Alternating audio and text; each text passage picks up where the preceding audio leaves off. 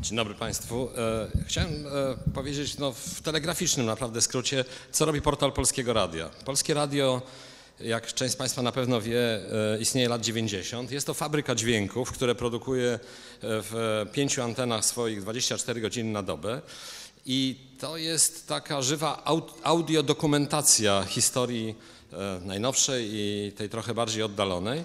E, my na portalu Polskiego Radia, którym kieruję od kilku lat, e, postanowiliśmy z tej audiodokumentacji uczynić e, no, instrument edukacyjny w lekkiej współpracy z Ministerstwem Edukacji i z instytucjami zajmującymi się dziejami najnowszymi, z IPN-em, z ośrodkiem Karta, z Centrum Europejskim Centrum Solidarności, z Muzeum Powstania. Tworzymy serwisy, gdzie staramy się zbierać materiały archiwalne Polskiego Radia i tworzyć z nich takie pakiety multimedialne, e, wzbogacając je dostępnymi nagraniami audio, wideo spoza Polskiego Radia, materiałami fotograficznymi i w ten sposób tworzymy e, pakiety. Mamy internet?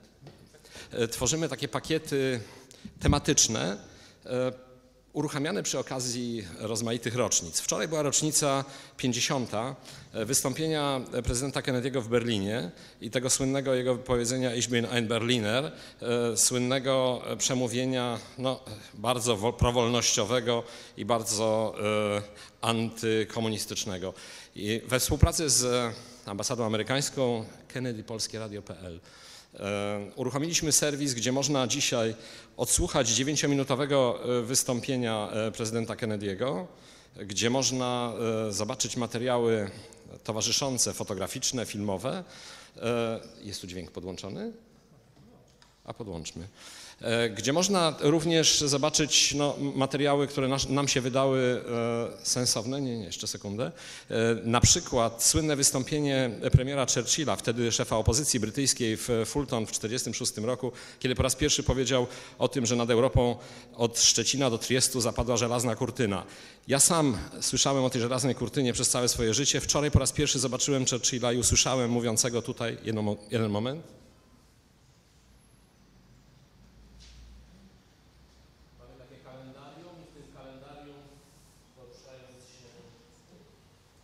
jesteśmy w stanie zobaczyć i usłyszeć, jak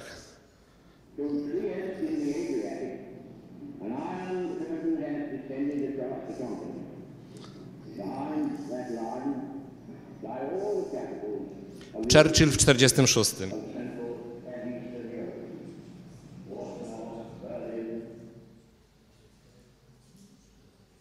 A to jest słynne przemówienie Kennedy'ego 50 lat temu i jeden dzień w Berlinie.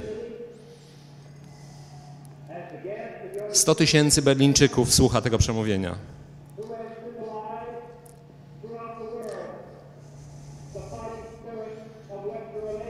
W części fotograficznej można zobaczyć, że władze Berlina Wschodniego na czas tego przemówienia i obecności Kennedy'ego w Berlinie nad bramą brandenburską zawiesiły czerwone sztandary, aby uniemożliwić kontakt wzrokowy wschodu z zachodem.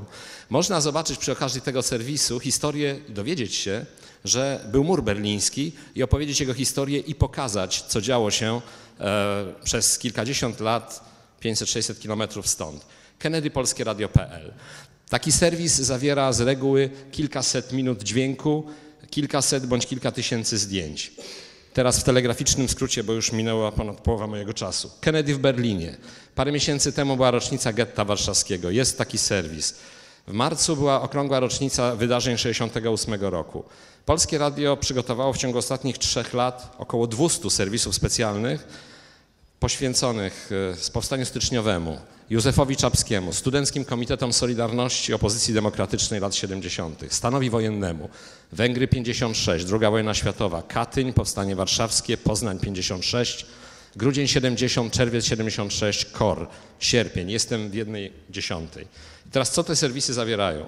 Serwis Radia Wolności zawiera scyfryzowanych pół miliona minut przez nas scyfryzowanych i udostępnionych archiwów Radia Wolna Europa, BBC i Radia France International z lat 52 96, kiedy zamykano te rozgłośnie.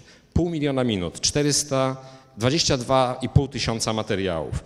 Sierpień 80 Polskie Radio.pl to jest 800 materiałów, 400 dźwięków. Giedroyć, Polskie Radio.pl, ponad 50 materiałów, 410 minut dźwięków.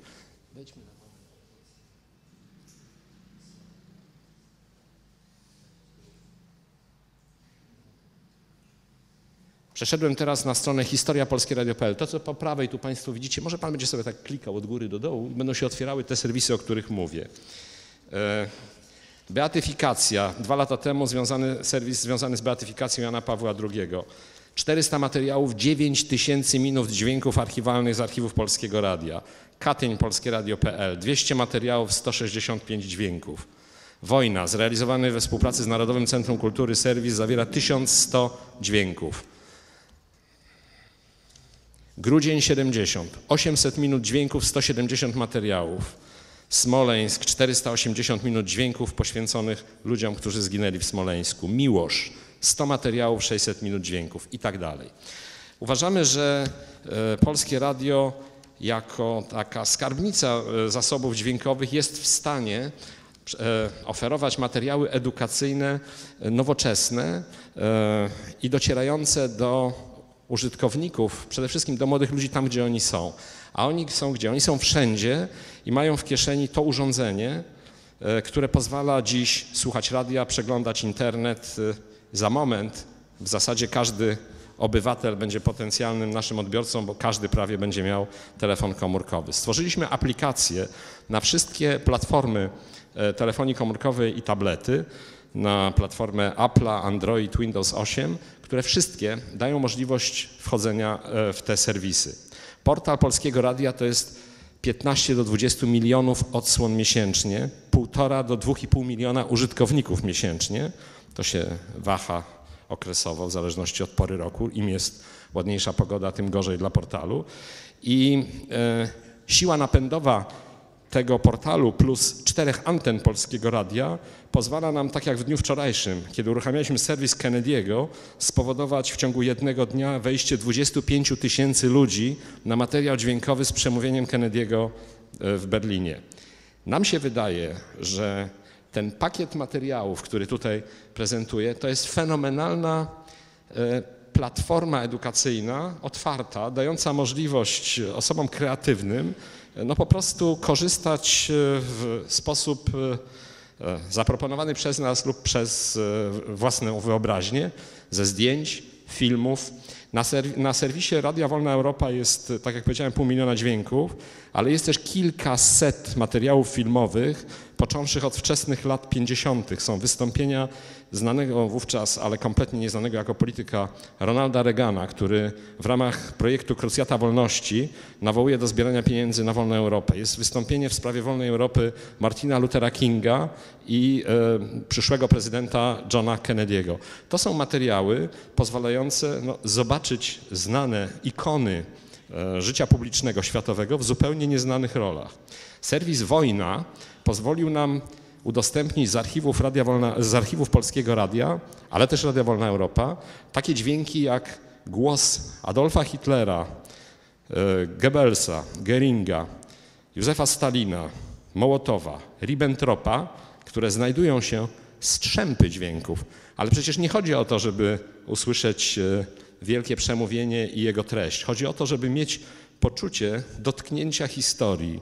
Radio Wolna Europa w swoich archiwach pozwoli nam pozwala nam dzisiaj posłuchać, jak brzmiał głos Witolda Gombrowicza, Leopolda Tyrmanda, Herlinga Grudzińskiego, tych wielkich nazwisk e, polskiej kultury, które przez dziesięciolecia były e, od nas, no, od których my byliśmy odcięci, a których dzisiaj mamy za jednym kliknięciem w portal. E, I to moim zdaniem otwiera fantastyczne możliwości edukacyjne. Aby to nie pozostało projektem E, gettowym. Tworzymy również wokół tego pewną oprawę promocyjną. Jesteśmy w stałej współpracy z kreatywną agencją Hypermedia Izobar, z którymi przygotowaliśmy na pikniku naukowym w ubiegłym roku projekt Dotknij Dźwięku.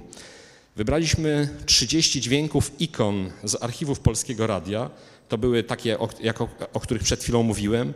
To były takie jak Tomasz Zimoch komentujący bieg Justyny Kowalczyk, ale to były też słowa e, Nila Armstronga, który po raz pierwszy stanął na Księżycu i mówił, że to jest niewielki jego krok, ale wielki krok w dziejach ludzkości.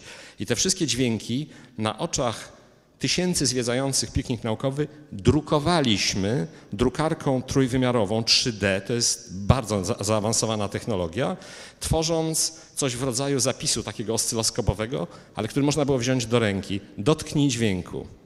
Tłumy e, za, po raz pierwszy w życiu zainteresowały się e, w ten sposób nagraniami archiwalnymi. Poprzez formę dotarliśmy do treści. Ta kampania zdobyła w całej Europie e, no, wiano nagród. Dwa srebra na festiwalu w Portorożu, festiwalu reklamy, srebro na festiwalu Epika w Paryżu, dwa miesiące temu dwa srebra na e, festiwalu KTR w Warszawie. W Lizbonie była na krótkiej liście sześciu podmiotów razem z IKEA, Mercedesem, Lego. W tej chwili, to już jest ostatnia rzecz, którą chcę powiedzieć, żeby Państwa nie zamęczać, przygotowujemy grę miejską, która będzie wykorzystywała, ma popularyzować zasoby archiwalne Polskiego Radia, będzie, w zasadzie jest gotowa, będzie pozwalała instrumentami tak zwanej poszerzonej rzeczywistości, używając tego urządzenia jako odbiornika, ale jednocześnie lokalizatora, bo przecież tutaj jest GPS, tutaj jest mapa Warszawy, będzie pozwalała zwiedzać Warszawę i słuchać miasta, ponieważ na mapę Warszawy my w naszej bazie dźwiękowej w Polskim Radiu nakładamy bazę dźwięków archiwalnych. Na Chocimskiej 5 mieszkał Witold Gombrowicz. Podchodząc do tej bramy i ustawiając swój e, telefon na tę bramę, będę słyszał Witolda Gombrowicza ale ponieważ mamy nagrania wideo Jacka Kuronia, to w Alei Mickiewicza w Warszawie, podchodząc do jego bramy i ustawiając ten telefon na jego bramę, będę słyszał i widział Jacka Kuronia mówiącego do mnie. Mamy w tej chwili tę wersję zrobioną na Warszawę w pewnych scenariuszach użycia. Druga wojna światowa, kultura niezależna, Komitet Obrony Robotników, opozycja demokratyczna. W przyszłym roku w ramach projektu Europejskiej Sieci Pamięć i Solidarność oraz Narodowego Centrum Kultury chcemy ten projekt e, poszerzonej rzeczywistości wykorzystania dźwięków zinternacjonalizować i nadać mu charakter w ramach obchodów 25-lecia upadku komunizmu, e, włączyć w to Niemcy, Czechy, Słowację i Węgry. Dostaniemy od nich ich dźwięki, ikony i zarządzając tutaj z Warszawy, z Polskiego Radia, będziemy zachęcać młodych ludzi aby wzięli swój telefon, swoje ulubione narzędzie, z którym się nawet w nocy nie rozstają i użyli go do poszerzenia swoich horyzontów i chodząc po tych ulicach, po których chodzą codziennie, żeby podnieśli ten telefon i raptem usłyszeli dźwięki sprzed 25 lat i odebrali jakieś bity informacji, przed którymi oni stawiają opór i, nie, i nie, niektóre projekty edukacyjne blokują dostęp do tych bitów informacji. Przeszliśmy, można powiedzieć, w system samokształcenia i uniwersytetów latających z wykorzystaniem najnowszych technologii. Dziękuję bardzo.